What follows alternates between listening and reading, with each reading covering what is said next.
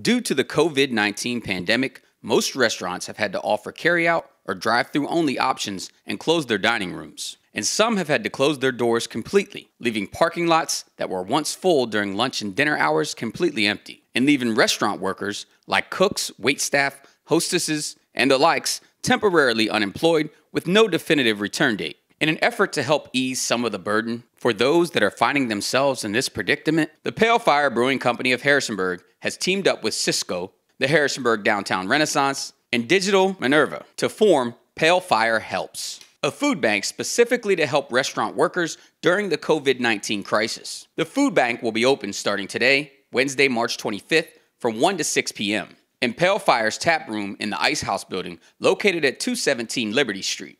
Sysco and community members have donated a variety of non perishable items to the food bank already, but Pale Fire is accepting both shelf stable food and monetary donations for the program moving forward. Pale Fire Helps will operate the rest of this week till Saturday from 1 to 6 p.m. and Tuesday through Saturday from 1 to 6 p.m. moving forward.